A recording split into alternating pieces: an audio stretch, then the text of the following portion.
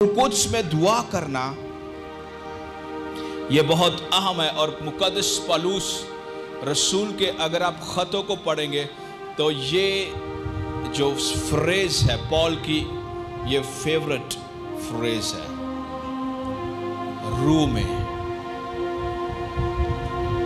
रू में।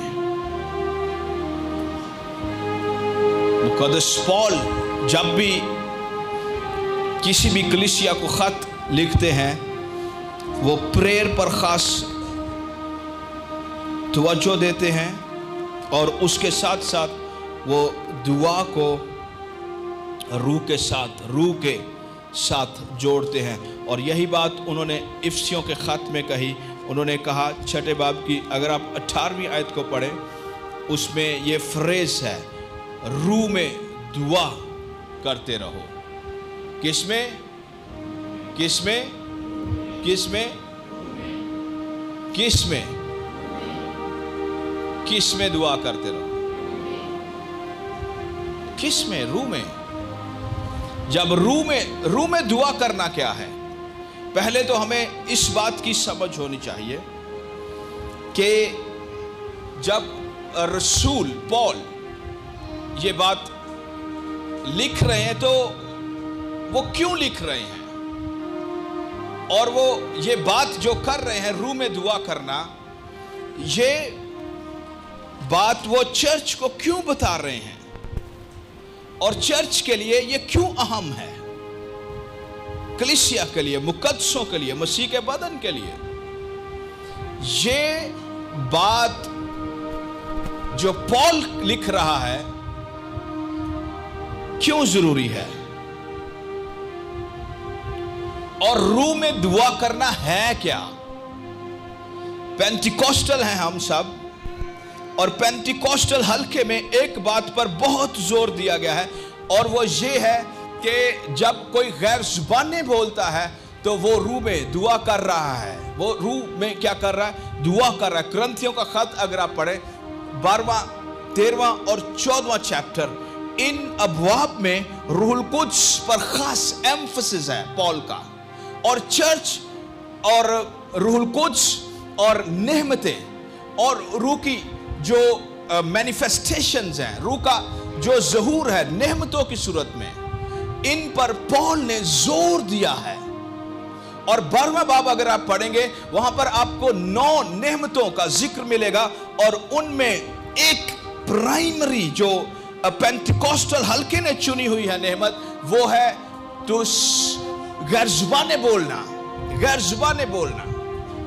मुकदस पॉल इस खत में इस बात पर ज़ोर दे रहे हैं और असल में पॉल बात यह कर रहे हैं कि जो रूह की नहमतें हैं, नौ नहमतें हैं, फिर वो मोहब्बत की बात करता है। वो कह ये रहा है, रूह की नहमतें जो हैं, वो जुड़ी हुई हैं मसीह में मोहब्बत के साथ। फिर चौदहवें बाब में पॉल कहता है कि गैर जुबाने बोलो, नेमतों की आरज़ू करो, बेगाना जुबानों में दुआ करो। और पॉल कहता है, मैं तुम सबसे ज़्यादा बोल सकता हूँ, बेगाना ज़ुबान गैर ज़ुबान जिसको हम कहते हैं। और पॉल जब चर्च को तालीम दे रहा है, पॉल यह कह रहा है रू में दुआ करते रहो, इफ्सस चर्च को, और पेंटिकॉस्टल जो एक टिपिकल रवायती, एक बनाई हुई जो तफसीर है, इस आय, इस इस फ्रेज की वो ये है टंग्स में प्रेयर करना, गैर जुबाने बोलना। लेकिन यहाँ पर जो पॉल कह रहा है, वो गैर जुबानों एक एक एक ज़रिया है कनेक्ट करने का स्पिरिट आलम के साथ, एक एक ज़रिया है, सिर्फ़ एक। गैर जुबानों में दुआ करना हतमी नहीं है कि आप स्पिरिट में दुआ कर रहे हैं।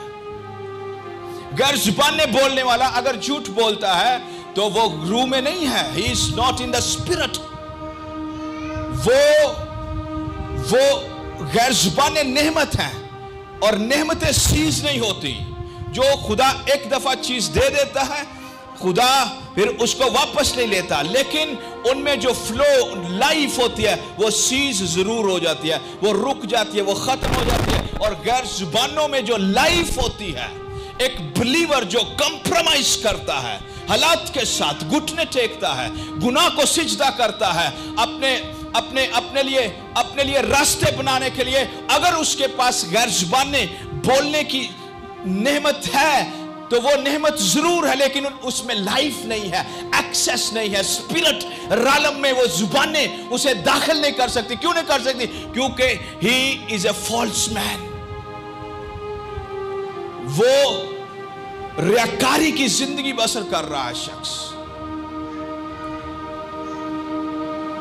गैर जुबाने एक एक निशान है, सिर्फ़ एक रू में दुआ करने का, सिर्फ़ एक। हतमी नहीं है अल्टीमेटम नहीं है। गैर ज़ुबान डीप सब्जेक्ट है। पेंटिकोस्टर हल्के का, जिससे आई मैं बहुत प्यार करता हूँ, लेकिन मिसअंडरस्टूड है। गैर जुबानों को हमने समझा नहीं है, गैर जुबानें क्या हैं? इनकी अहमियत क्या है? चर्च में इंपॉर्टेंस क्या है गैर जुबानों की? पहली बात जब हम टंग्स में प्रेयर करते हैं, हम रू में दुआ कर रहे होते हैं। ये ये सिर्फ़ एक एक निशान है। दूसरी बात, जब हम रू में दुआ करते हैं तो इस इस, इसकी, इसका एजिटिव क्या है? इसके फ़ायदे क्या हैं? इसके एडवांटेजेस क्या हैं? In spirit pray in spirit पहला फ़ायदा यह है, जब आप रू में दुआ करेंगे होली स्पिरिट आपकी ज़िंदगी पर से खौफ की स्पिरिट को दूर करेगा। खौफ की spirit. Holy spirit drive out खौफ खौफ खौफ। खौफ क्या है? फियर क्या है? फियर का तर्जमा इब्रानी बाइबल में, इसका तर्जमा दहशत हुआ है, दहशत। दहशत क्या है? क्या है? खौफ जिसको डर कहते हैं। यह डर है क्या? डर या खौफ या दहशत? ये ये पहली बात, जो खौफ होता है, वो हमेशा हमारे जो मौजूदा हालात होते हैं, इनसे पैदा होता है, मौजूदा हालात से। खौफ हमेशा मौजूदा हालात से पैदा होता है। आप कोई भी बात मुस्तकबिल की करेंगे, शायद वो बंदा उस बात को सुन के ना डरे। जब आप मौजूदा हालत की बात करेंगे तो शायद बंदा डर जाए। जूलियत 40 दिन और 40 रात निकलता, आता और वो बोलता और कलाम कहता है, इसराइलियों के दिल खौफ ज़्यादा हो जाते, हिरासान हो जाते। और कलाम में लिखा हुआ है कि वो निहायत डर जाते निहायत डर जाते जूलियत को देखकर, जो करंट सरकमस्टांस होते हैं ना, मौजूदा हालात होते हैं, उनसे खौफ पैदा होता है। अगर आप अपने मुल्क की जो मौजूदा हालत है, इसकी स्टडी करेंगे, आपको महँगाई डराएगी, आपको मसबी इंतशार डराएगा, क्योंकि आप मसबी तौर पर किसी से बात नहीं कर सकते, क्यों नहीं कर सकते, क्योंकि जो मौजूदा हालात हैं ये हमें इजाज़त नहीं दे रहे कि हम क्या कर सकें, हम किसी से मजहबी तौर पर बात कर सकें। अगर आप सियासत की बात करें, पाकिस्तान में ख़ास करके, पाकिस्तान के अंदर सियासी हालात इस कदर डिमाइस का शिकार है। मुर्दा हुए हुए हैं कि आप आप सर्टनटी से, आप किसी भी यकीन दहानी से नहीं कह सकते कि हालात इस तरफ़ जा रहे हैं। और जो करंट सिचुएशन होती है ना, मौजूदा हालात जो होते हैं, इनसे खौफ पैदा होता है। इनसे खौफ पैदा होता है। खौफ पैदा होता है। मौजूदा हालात से खौफ पैदा होता है। नाकामी का खौफ। किसी ताल्लुक का फेल हो जाना, नाकाम हो जाना। खुदा कह रहा किसी ताल्लुक से बाहर निकलाओ लेकिन जुटे रहना प्रे करते रहना, दुआ करते रहना। खौफ पैदा करेगा आपकी ज़िंदगी के अंदर। करंट जो कुछ मौजूदा आपकी ज़िंदगी में हो रहा है अगर वो अलाइन नहीं करता खुदा के कलाम के के, के की डोरी के साथ के, के, के, के, की पैमाइश के साथ अगर वो वो बात आपकी ज़िंदगी में आपकी आपकी लाइफ में अगर खुदा के कलाम का जो साहूल है उसके साथ इसकी पैमाइश नहीं हो रही तो आप खौफ ज़्यादा हो जाएँगे आप डर जाएँगे। आप, आपके ऊपर खौफ छा जाएगा। और मौजूदा जो हालात होते हैं, ये खौफ पैदा करते हैं। और जब हम इन स्पिरिट दुआ करते हैं रूह में तो रूह कुछ क्या करता है? Holy spirit breaks the chain of fears पाक रूह आता है और खौफ की जंजीरों को वो तोड़ना शुरू कर देता है। करंट जो मौजूदा हालात होते हैं, ये खौफ पैदा करते हैं। अगर आप मौजूदा हालात में खौफ का मुकाबला नहीं करेंगे तो एक केस स्टडी है। केस स्टडी है पैदाइश की किताब 19वें बाब में। अगर आप उस चैप्टर को पढ़ें तो वहाँ पर आपको एक कहानी मिलेगी। और वो कहानी ये है, सदूम और अमूरा को जब खुदा ने तबाह कर दिया, उन्हें फिनिश कर दिया तो वहाँ से एक खानदान निकला। और वो खानदान कौन सा था? सदूम और अमूरा से कौन सा खानदान निकला था आवाज़ क्यों नहीं आ रही? सदूम और अमूरा से कौन निकले थे? कौन? कौन निकले थे? लूत और उसकी फैमिली। जब निकल रहे थे, उसकी बीवी ने पीछे मुड़कर देखा। और कलाम कहता है वो क्या बन गई? खंबा बन गई सतून बन गई, नमक का। तो जब कहानी आगे बढ़ती है तो वहाँ पर हमें मिलता है कि कि लूत और उसकी जो दो बेटियाँ रह गई थी बाकी, उन्होंने देखा कि ये जिस इलाके में हम आ गए हैं, इसमें इसमें जो लोग हैं वो तो हमें या तो कैद कर लेंगे, या हमें मार देंगे, या वो हमसे ऐसा सलूक करेंगे जो इंसानों के साथ सलूक रवा नहीं है। तो कलाम कहता है, वो डर गए। वो क्या हुए? डर गए। खौफ खौफ। प्रेजेंट जो मौजूदा हालत थी, उसमें क्या आ गया? उसमें क्या आ गया? उसमें क्या आ गया? उसमें क्या आ गया? क्या आ गया? खौफ आ गया, खौफ। डर आ गया। और उस डर ने क्या किया? पहली बात, डर हमेशा आपको आपको छुपाता है। ये ये एक एक गार में छुप गए।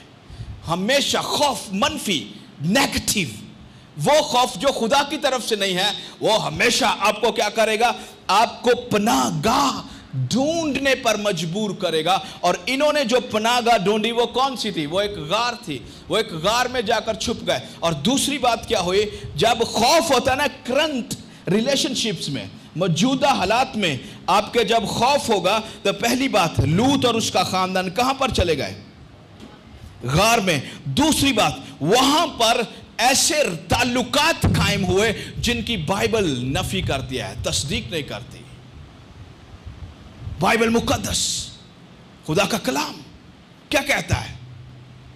उसकी बेटियों ने उसे मैं पिलाई और उन्होंने कहा कि इस इलाके में कोई मर्द नहीं है जो दस्तूर के मुताबिक हमसे शादी करे तो हम क्या करती हैं? हम ये करेंगी, हम ये करेंगी कि हम अपने बाप के साथ रिलेशन कायम करेंगे। याद रखिए, मौजूदा हालात में खौफ जो होता है, वो आपको ना सिर्फ़ घरों में बंद करता है, बल्कि अनलाइकली रिलेशनशिप्स का आपको गुलाम बना देता है। ऐसे रिश्ते आप उनमें इन कर जाते हैं जो आपके लिए नहीं है, जो खुदा ने और डेन नहीं किए मसा नहीं किए, आपके लिए नहीं है। वो ताल्लुकात आपके लिए नहीं है, जिनमें वक्त से पहले पहल है, वक्त से पहले जिनमें जिनमें कोशिश की जाती है, वक्त से पहले जिनमें जिस्म का इस्तेमाल किया जाए, वो डीमंस की तरफ़ से बेचा हुआ रिलेशनशिप्स है। वो खुदा ने नहीं बेचा। खुदा ने नहीं बेचा वो ताल्लुक तेरे लिए। क्यों? क्योंकि वो डिमोनिक है। वो वो वो मौजूदा हालात के खौफ से वो कंप्रोमाइज रिलेशनशिप है। आमीन, मुझे लग रहा है आपको समझ आ रही है। मैं क्या कह रहा हूँ? फिर वहाँ पर ऐसा रिलेशनशिप कायम हुआ। जो नहीं होना चाहिए था। आज बहुत सी शादियाँ ऐसी हो रही हैं।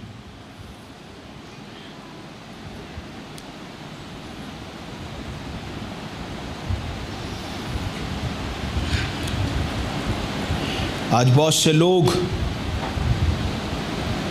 बहुत से लोग हैं, ऐसे ताल्लुकात में घुस रहे जो उनके लिए ओडेन नहीं है। जो उनके लिए नहीं है।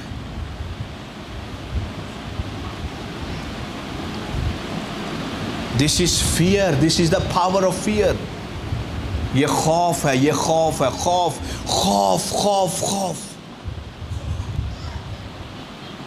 कई दफ़ा महँगाई को लेकर खौफ पैदा हो जाता है। और हम हम अपने ही साथ एक ऐसा, अपने ही साथ, अपने ही साथ अपनी ख्याली दुनिया में अपने ही साथ रिलेशन जोड़ लेते हैं कि अब महँगाई हो गई है। होन कुछ तो करना है ना। ओ, की करिए, बच्चे भी तो पाल लेने ना। कहते हैं ऐसे कि नहीं कहते? लोग कहते हैं, ओ, की करिए पादरी साहब तो की पता होवे हालात ही बड़े ख़राब ने। असी बच्चे नहीं पालने, असी बच्चे भुखे मारने ने। ऐसे कहते हैं लोग। और अनलाइकली रिलेशनशिप्स में वो दाखिल हो जाते हैं। ऐसे ताल्लुकात में वो दाखिल हो जाते हैं जो उनके लिए नहीं होते हैं। इसलिए खौफ की स्पिरिट को स्पिरिट रालम में जब दुआ करते हैं, फिर शिकस्त होती है। तो मोतियस को क्या कहा पॉल ने? तुझे दहशत की रूह नहीं दी गई। तुझे दहशत की रूह नहीं दी गई। तुझे कुदरत, मोहब्बत और तरबियत की रूह दी गई है। कुदरत, तरबियत और मोहब्बत की रूह दी गई है। अनलाइकली रिलेशनशिप्स कायम हुए। ऐसे ताल्लुकात बनाए उस गार में जो जो जो ऑर्डेन नहीं थे फादर्स डे है आज। और फादर्स डे का सबसे मायूस कन मैसेज ये है कि बेटियों ने बाप के साथ रिलेशनशिप बना लिया।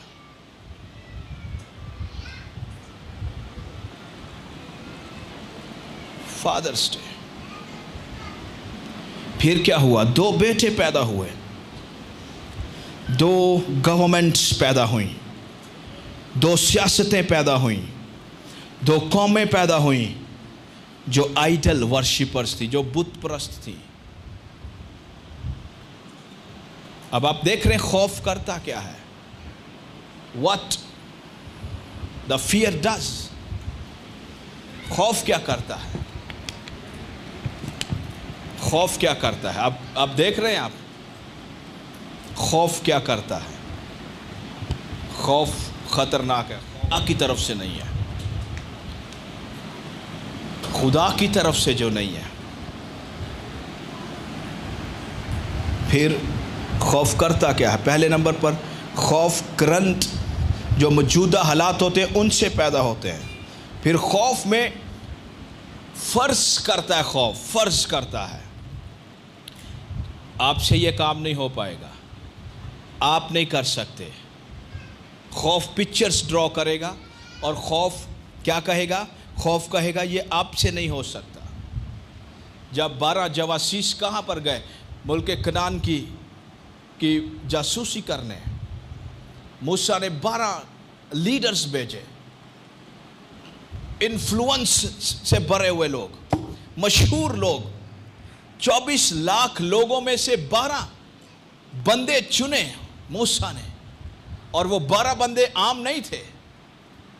और जब वो वापस आए तो दस ने रिपोर्ट दी कि we are suppose to fail हम फतह नहीं कर सकते इनको। हम तो टिड्ढे हैं अपनी ही नज़र में। ग्रास सुपर से हम। लेकिन दो लोगों ने क्या कहा? अगर खुदा राज़ी रहा, अगर खुदा राज़ी रहा, अगर खुदा राज़ी रहा, हम तसरफ करेंगे, हम इन पर अटैक करेंगे और हम क्या करेंगे? हम इसे फतह करेंगे। ये है power of praying in spirit जब आप रूह में दुआ करते हैं तो आप खौफ पर गालिब आते हैं। लास्ट थिंग इसको मैं अगले संडे फिर जारी रखूँगा इसी बात को। प्रेइंग इन स्पिरिट दूसरी बात, जब आप रूह में दुआ करते हैं पहली पहली बात हमने कही कि रूह में जब हम टंग्स बोलते हैं तो इट्स में दुआ करते हैं तो खौफ को शिकस्त होती है, खौफ को। तो अहम बात ये वाली जो अब मैं करने लगा हूँ, ये बड़ी अहम बात है। इसके बगैर इसके बगैर इसके बगैर एक ईमानदार की ज़िंदगी फलदार नहीं हो सकती। इसके बगैर। जब आप रूह में दुआ करते हैं तो रूहुल कुछ क्या करता है? यस्सु मसीह की खुदावंदियत का दरवाज़ा खोलता है। यस्सु की खुदावंदियत का। यस्सु मसीह जो है, वो सिर्फ़ सेवियर नहीं है। वो एक निजात दहिंदा नहीं है। जिसने आपके लिए निजात का बंदोबस्त किया और आपको आगे भेज दिया। जो क्रिश्चियन फेथ है, मसीही ईमान है, इसमें जो अटोनमेंट देने वाला शख्स है, वो सिर्फ़ हमारा कुफारा ही देने वाला नहीं है। उसने हमें पकड़कर किसी एक जगह से उठाकर किसी दूसरी जगह नहीं रख दिया, बल्कि उसने कुफारा देने के बाद ईमानदारों की जिंदगियों पर उसका जो कंट्रोल है, उसका जो कंट्रोल है यस्सु का यस्सु मसीह का कंट्रोल जब ईमानदार रूह में दुआ करते हैं ना तो होली स्पिरिट क्या करता है? उनके लिए दरवाज़ा खोलता है। उनकी ज़िंदगी पर यस्सु मसीह का हतमी इख्तियार होता है। हतमी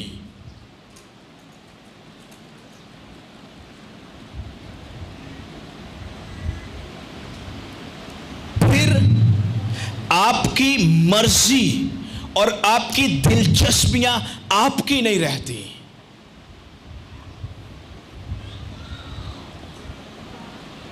फिर आप खुदा की मर्ज़ी के मरकज में आ जाते हैं। यही बात मुकदसा मरियम ने कही। मैं बंदी हूँ खुदाबंद की, मेरे लिए तेरे कौल के मुआफिक हो।